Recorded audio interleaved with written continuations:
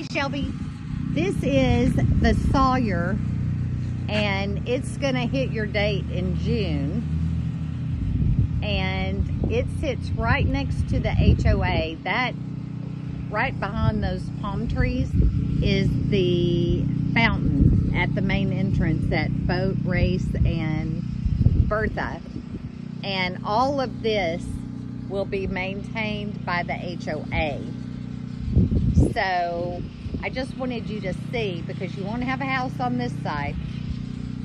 All of that to your property line, which you can see the flag back there. You'll be sodded and then they'll sod or seed all of this area here. And then this is across the street. And then if you go down this way, you come back out to uh, Eagle Lake Way. And if you go around this way to the circle and make a left, you go back into uh, Bridge Harbor Drive. So you have several ways out. But this is a Sawyer.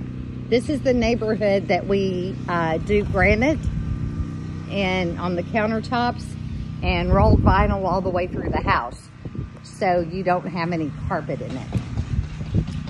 So I just wanted to show you this house in the backyard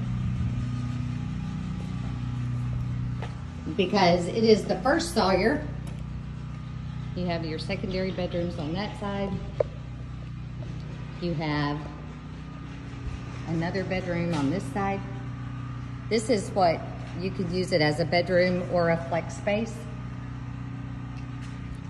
And then you have these two here with the bathroom in the middle. And then this is your living space. So if you have a formal dining room, you can use it here and make all of this living room. And your kitchen island will look onto this wall across your family room. So let me just show you the backyard. You have another bedroom back here.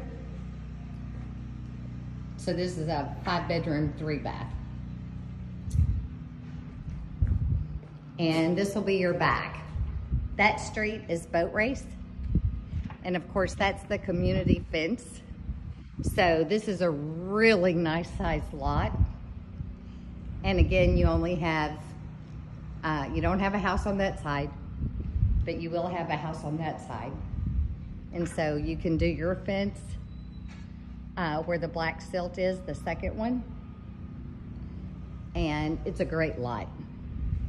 So I just wanted to get it to you because I think they're gonna release it today and it will be a June move-in.